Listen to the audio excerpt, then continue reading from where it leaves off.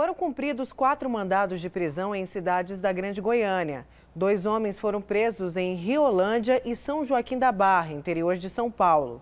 Outros quatro estão foragidos. Todos são caminhoneiros. Foram cumpridos ainda seis mandados de busca e apreensão.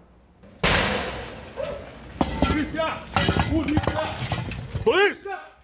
A investigação descobriu que os 10 caminhoneiros investigados fizeram boletins de ocorrência falsos de roubo de carga, dirigindo a mesma carreta.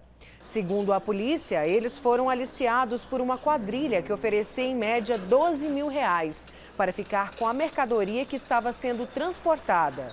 Nós notamos que essa placa desse conjunto veicular, tanto do caminhão quanto da carreta, ela aparecia em outros registros semelhantes, não só aqui no estado de Goiás, mas em outros estados também. E através desse conjunto veicular, nós notamos o quê? Que eles transferiam esse caminhão, essa carreta, muito rapidamente para outro motorista. Então, o motorista ia, passava aquele caminhão para o seu nome, ia até aquela empresa, pegava a carga, como motorista normal, motorista idôneo, e desviava essa carga. Assim que ele desviava essa carga, ele já passava para um outro motorista nas mesmas condições, que ia em um outro local e fazia a mesma coisa.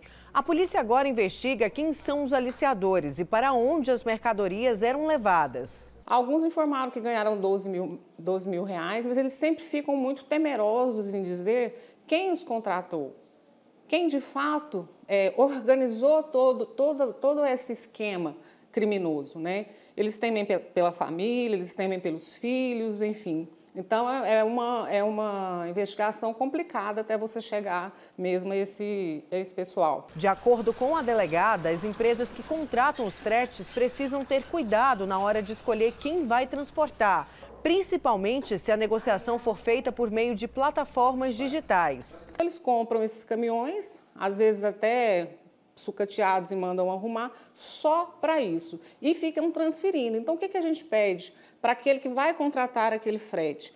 Tome cuidado com o caminhão.